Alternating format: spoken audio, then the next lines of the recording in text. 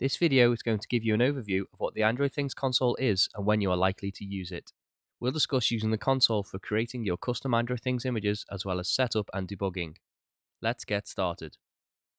The Android Things console provides tools to install and update the system image on supported hardware devices. Using the console, developers can download and install the latest Android Things system image, build factory images that contain OEM applications along with the system image, as well as push over-the-air updates including OEM to devices. Notice in the console it contains a hamburger menu. Clicking that we can see products, analytics and tools, products being the default screen. Under tools you have the setup utility. This is a script you can download to flash your Android Things device with your product and to set up your development Wi-Fi connection. Using this tool is explained in another lesson. Under Analytics, you have different analytics showing insights into active users and device update status. We'll explore this further in another lesson. Let's go back to products. To get started, we will create a new product. You can see on my console, I already have some projects, but let's start a new one for this video. First, we enter a product name. This is the name of the product you are creating. For instance, Smart Light or Candy Dispenser. The SOM type is the system on a module that you will be developing for. Here we are using a Raspberry Pi. We'll leave the rest as default and click to create our product. Once a product has been created, we land on the product page. Here in the middle, we can edit the details we already entered upon product creation. At the bottom, we can share access for our product with other people. This is a role-based access system, allowing you to add others to own the product, or only build, edit and release, or only view. At the top, we have our models section. A model is a particular flavor of your product. For example, you may have a base model and a luxury model of your product. As such, you could then update features for all the luxury models separate to the base models. Here we only have one model, let's click on that. Once inside a product model, there are two tabs of configuration. Let's look at build. This tab is where you will create your Android Things system image. A system image is the whole operating system contained in a zip file that you will flash to an SD card for development on the Raspberry Pi. Let's create a new build. Clicking new, then select start from scratch. Name your configuration. You might want to include some versioning information for the image, or perhaps a hint at what you have included in your bundle.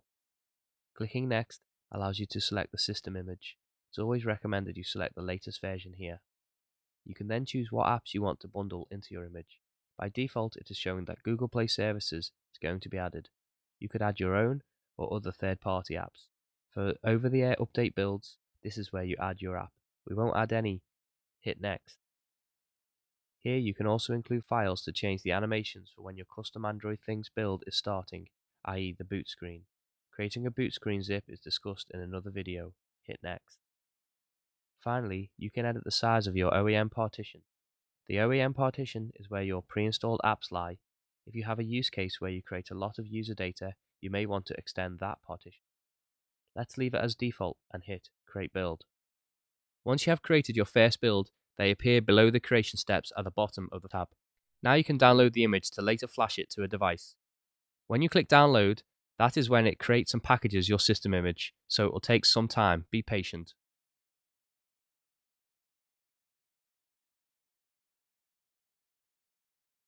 The other tab is release.